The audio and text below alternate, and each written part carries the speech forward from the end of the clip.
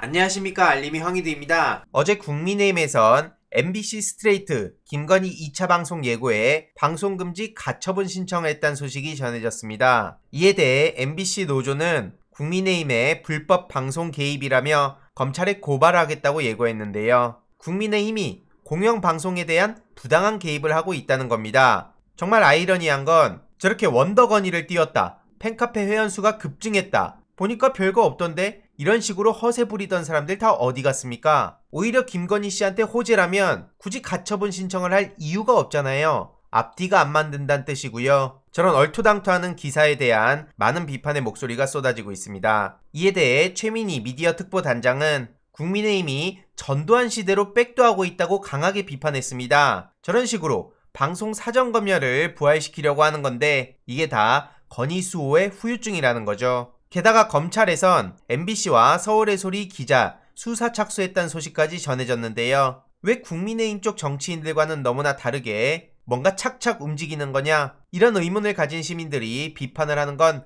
당연하다고 봅니다. 저는 더 웃긴 게 도대체 무슨 청년 정치를 하는지 모르겠는데 이런 식으로 민주당은 왜 본방사수 독력 캠페인을 당 차원에서 했죠? 공개적으로 허세를 부렸죠. 국민의힘에서 걱정이 안 된다면 왜 저렇게 언론 탄압이라는 비판을 받으면서까지 방송을 오히려 홍보해주고 있는 거죠. 쿨하고 센 척하는 건 태무라 플러 진중권 씨랑 별반 다를 바도 없어 보이고요. 참고로 진중권 씨는 키보드 battle하다 망신당한 후 멘탈이 나갔는지 일주일째 페북에선 잠수 타고 방송에서 저렇게 소극적으로 건희수호를 하고 있던데 이준석 대표가 더욱 분발해야 될 겁니다. 이런 와중에 되도 않는 말장난을 하고 있는데요. 이재명 후보 욕설 관련해서 당내에서는 선거에 이용하자고 했지만 본인이 반대했다. 이런 얘기를 하고 있습니다. 새해부터 NFT 타령하면서 이재명 후보를 공개적으로 조롱하던 사람이 누굽니까? 바로 이준석입니다. 당 내부는 발칵 뒤집혔는데 정리는커녕 가면 쓰고 방송 나와서 타당 후보들 욕하다 망신당해놓고 전혀 느끼는 바도 없어 보이죠.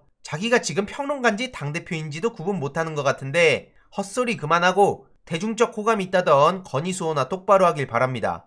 김건희 최순실 얘기가 나오는 데다 무속이임 논란까지 터졌는데 지금 저런 말장난이 나옵니까? 저러니까 무능한 당대표란 얘기를 듣는 거고요. 작년 11월에는 이재명 가족 자신감 있게 건드리겠다. 기대해라. 이런 허세란 허세는 다 부렸습니다. 중이병도 아니고 센 척은 엄청나게 하고 있죠. 도대체 저기에 청년 정치가 어디 있습니까? 많은 시민들은 불공정한 윤석열 김건희 수호에 앞장선 이준석 대표가 성접대 의혹 고발 사건이 신속하게 수사에 나서게 되며 태세 전환한 거 아니냐라는 추측을 하고 있고요. 진짜로 이대남들을 생각하는 건 이재명 후보입니다. 어제 군상해보험 전면 시행을 공약으로 발표하기도 했는데요. 정책 발표자로 20대 예비역 병장을 앞세웠습니다. 그래서 군상해보험을 전면 실시하고 군복무 경험 학점 인정제를 모든 대학으로 확대하겠다. 군대 내에서 대학 학위 교육을 받는 여건을 마련하겠다. 군 급식 체계를 개선해서 식사의 질을 높이고 낙후된 신병 교육 시설을 전면 개선하고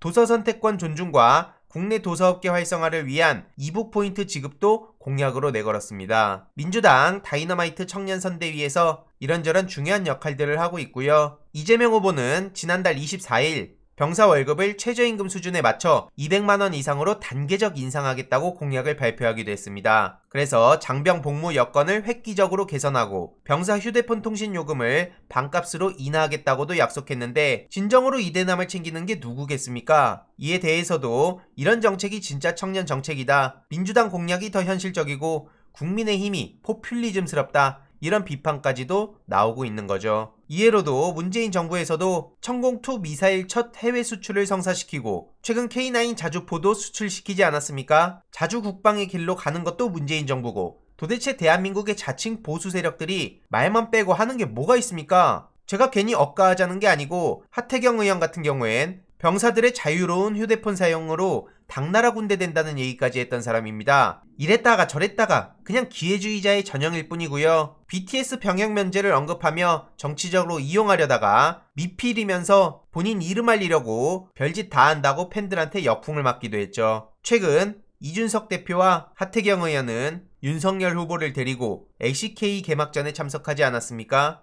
그런데 이마저도 쓰였다는 걸 지난 영상을 통해 계속해서 말씀드린 바 있죠. 지식백과엔 정작 출연도 못하고 뒤통수를 두 번이나 쳐서 많은 비판의 목소리가 나오고 있습니다. 아무튼 어제 법원에선 최순실까지 거론하며 김건희의 무속 발언은 공적 검증 대상이라고 결론을 내렸는데요. 이로써 대부분 방송이 가능하다는 결과가 나왔네요. 그래서 열린공감TV는 사실상 승소했다고 커뮤니티에 글을 올리기도 했고요. 김건희와 최순실, 그리고 무속의 힘 등등 계속해서 터지는 문제는 그 문제대로, 그리고 이재명 후보의 공약과 행보는 그것대로 계속해서 간략하게 전해드리도록 하겠습니다. 이번 내용도 유익했다면 구독, 좋아요, 알림 설정, 멤버십 가입 정말 큰 힘이 된다는 점 말씀드리고 싶습니다. 이번 내용도 주위에 널리 공유 부탁드립니다.